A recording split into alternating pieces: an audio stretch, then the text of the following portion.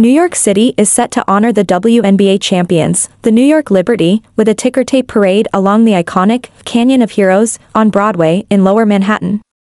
The celebration will kick off at Battery Park and make its way to City Hall, where a special ceremony will take place after the parade. The Liberty secured their historic first WNBA championship by clinching a hard-fought five-game series victory over the Minnesota Lynx on Sunday.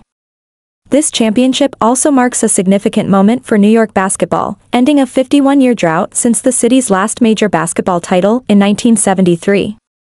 Fans from all over the city are expected to join the festivities, celebrating the team's remarkable journey and their achievement on the national stage. The Liberty's victory represents a milestone not only for the team but for the sport in New York, injecting new excitement into the city's basketball scene.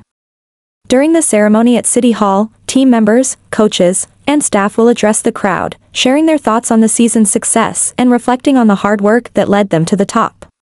The parade route, known as the Canyon of Heroes, has a storied history of celebrating great achievements, and now the Liberty will join the ranks of iconic teams and figures who have been honored there. The celebration aims to recognize the Liberty's dedication and resilience, while also inspiring the next generation of athletes and sports enthusiasts in the city.